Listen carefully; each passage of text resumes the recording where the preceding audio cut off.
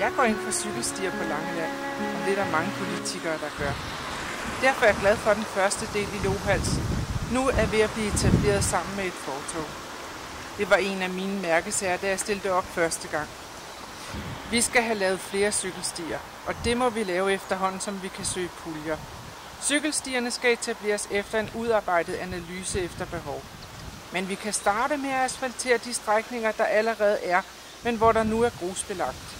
Vi skal skilte mere med de mange cykelruter, der er rundt på øen, så cykelturisterne kan komme væk fra hovedvejen og ud og se den smukke natur, vi har.